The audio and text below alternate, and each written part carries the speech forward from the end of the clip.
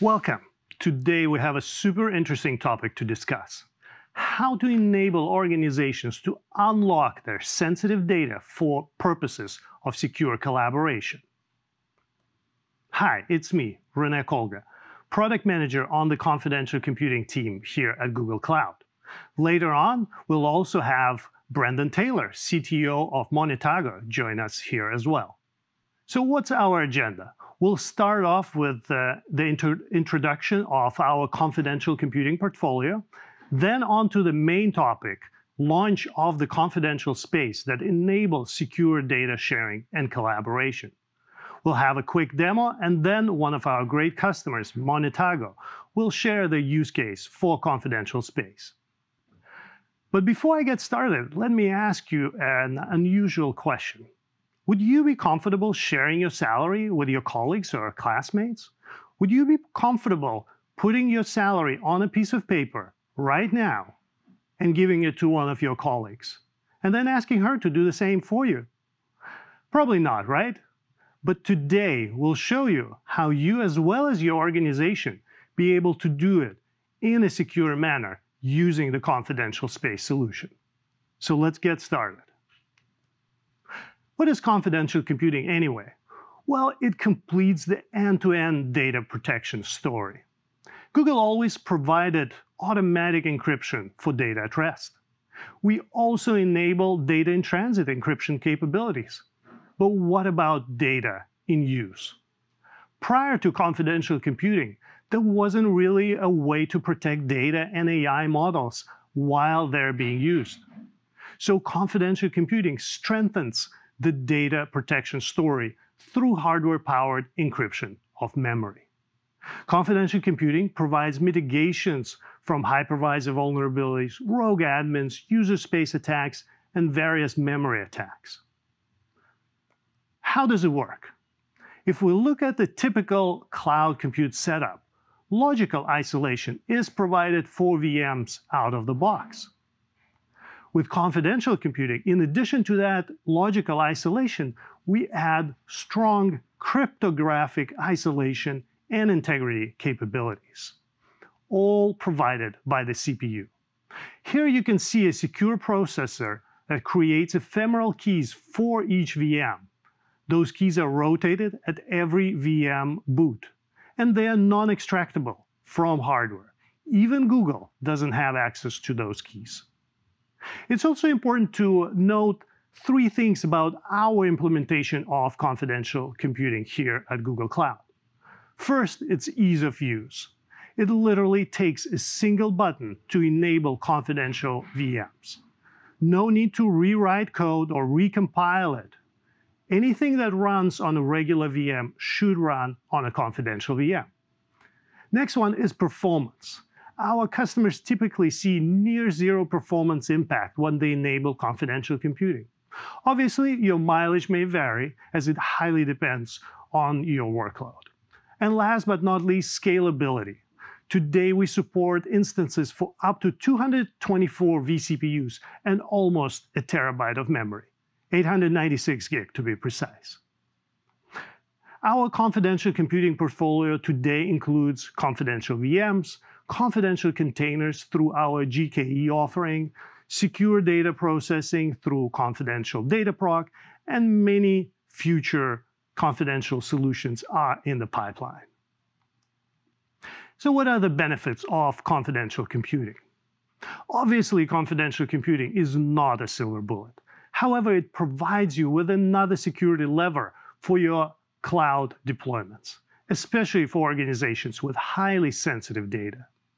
It completes the end-to-end data encryption story. It helps demonstrate due diligence for compliance purposes. And finally, it enables very interesting integration, data sharing, and collaboration use cases. And this last point is exactly what I want to focus on next. Unfortunately, today, many organizations are having to pick between innovation and maintaining user privacy, or between improving disease detection and protecting their patients' healthcare records, or between improving customer service experience in retail and protecting financial and personally identifiable information of their clients. Obviously, organizations want and need both. And that's why we're introducing confidential space, a powerful way to enable secure multi-party collaboration with trust guarantees, all built on top of confidential computing. As public preview for confidential space will be available soon, I would love to tell you more about it. As I mentioned, confidential space allows multiple parties to collaborate without having to trust each other blindly. It enables scenarios where you can gain mutual value from aggregating confidential data together while retaining full control over it. This type of privacy-preserving analytics is exactly what confidential space can facilitate. Let's take a look at a few examples. Here we have a healthcare organization on the left that wants to improve their disease diagnostics model. And we have an AI company on the right side that focuses on developing such models. However, they don't have enough PHI data to train their model, while the healthcare organization may not have all the resources to develop such model. When both of these parties collaborate, they both win.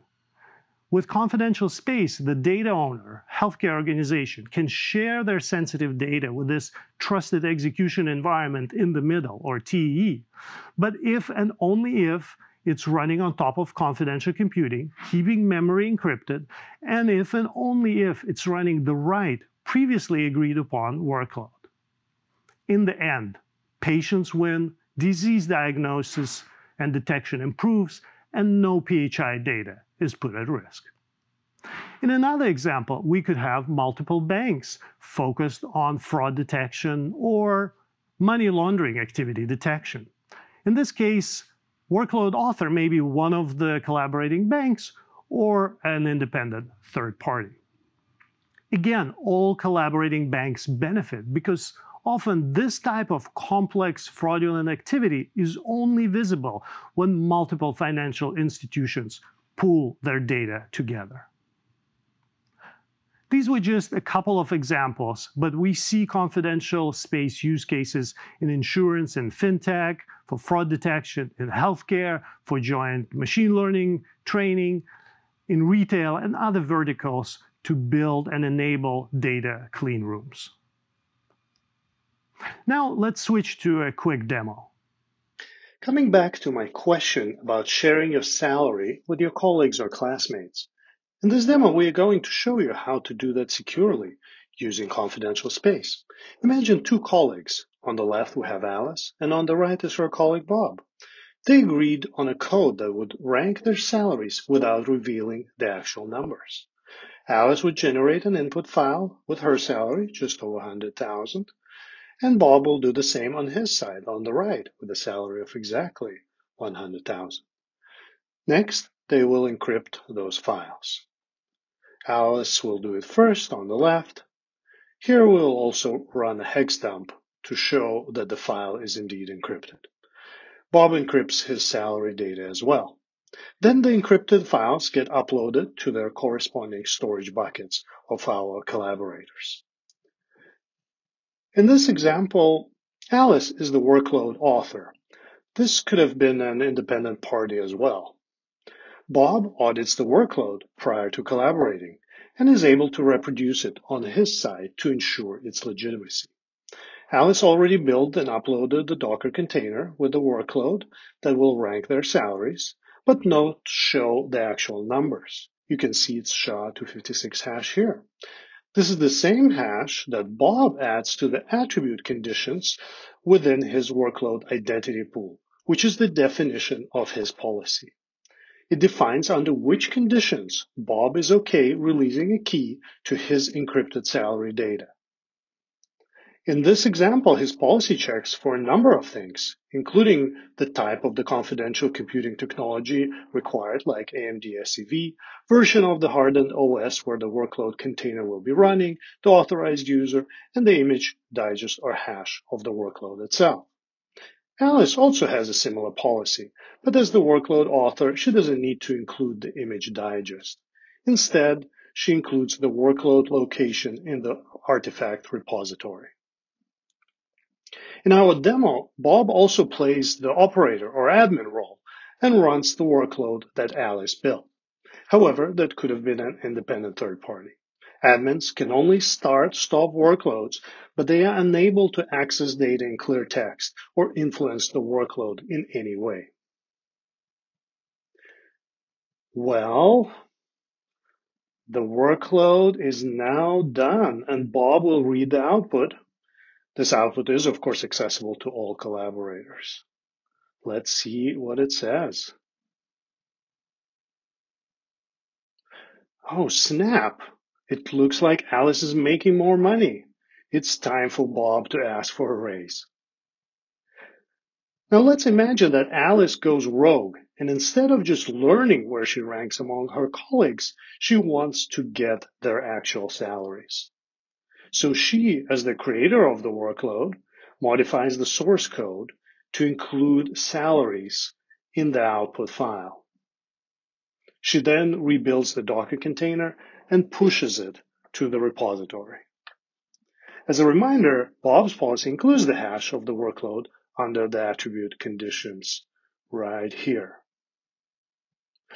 Now we'll get Bob to rerun the now modified workload and let's see what happens. Okay, the workload completed and Bob will read the output. Obviously, Alice could do the same as the output is in plain text and meant to be shared among all collaborators. As we can see from the new output file, we received an error stating the given credential is rejected by the attribute condition.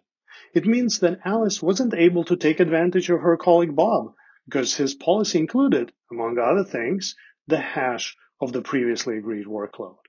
When Alice modified it, the hash obviously changed. That's why the workload didn't leak any sensitive data, such as the actual salary of our collaborators. This is how multiple parties can share sensitive data and collaborate in a secure manner. So I hope you enjoyed the demo. In summary, confidential space provides an ability to collaborate without blind trust. Everything is measured and verified before you give access to your data providing you with data confidentiality, data integrity, as well as code integrity guarantees. You retain complete data ownership. You control how your data is used and which workloads are authorized to access it. And again, you don't even need to trust the operator or the admin. Now, I would like to pass it on to one of our great customers, Monetago, so they could share their confidential computing and confidential space use cases. Brendan, over to you. Thanks, Rene. Hey, everyone. Brendan Taylor here, CTO at Monetago. Monetago is a leader in financial services technology, providing the only global fraud prevention solution against duplicate financing. Our mission is to make working capital more accessible to the millions of underserved businesses by reducing risk in trade finance. Monetago's secure financing product has been in production since 2018 and has recently been launched globally in partnership with the SWIFT network to make it available to all major banks around the world. Our problem is simple in nature, but complex to solve. Businesses get various forms of loans secured against receivables or inventory they own. The problem is that it's very easy for these businesses to go to more than one bank and get more than one loan against the same set of documents. This would be like you taking out multiple mortgages from different banks against your home. What this boils down to is that because banks have no effective way of sharing sensitive information between themselves, billions of dollars are lost each year to fraud. This is where we come into play. Our secure financing platform provides a way for banks to share this sensitive information without breaching their customers' privacy. Our product has two core pillars to it. Firstly, deduplication, where we compare every document submitted to identify if it is suspiciously similar to another document already submitted. And second, authentication, which aims to identify whether the documents provided are actually genuine or not. So what makes this a difficult problem to solve? Well, it comes down to trust and privacy. Firstly, banks have to give us their customers commercially sensitive data, but also they have to trust that other banks will not be able to gain any insight into their business. So how do we provide guarantees as to the protection of this data and their privacy? Like all businesses that deal with regulated and sensitive data, we implement ISMS policies to address identified risks. But the root of trust for these operational policies ultimately relies on good behavior of employees. The truth is, insider threats through either negligent or malicious behavior represent the most significant source of security breaches at tech companies. What we need is a technological solution to minimize this risk. With Google's confidential computing offering, we took one step closer to our goal. Initially, Monetago is leveraging confidential GKE to ensure protection of data whilst in process. However, since the data is stored with Monetago, it must be equally protected at rest. While there is no easy way of implementing trustless data storage, we implement a multi-key encryption process to ensure no single individual can breach security.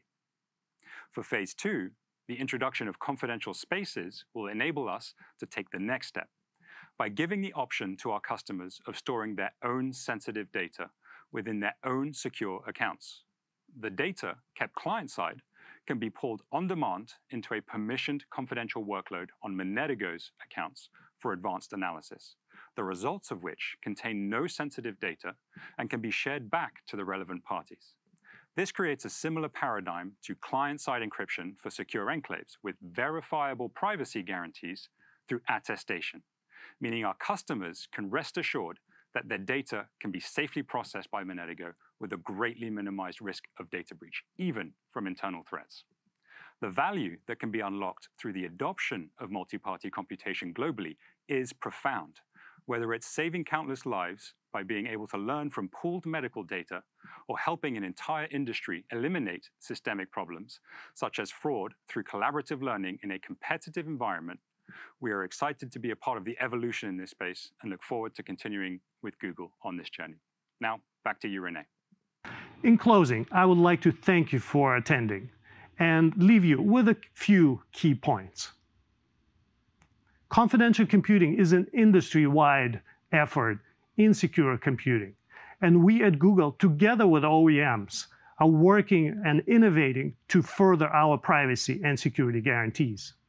Confidential computing provides hardware-based data encryption and remote attestation. It's easy to use, performant, and scalable. Finally, confidential space builds on top of confidential computing and enables new use cases like secure data sharing, privacy-preserving analytics, joint ML training, and much, much more. I hope you try out our preview, and thank you very much for attending.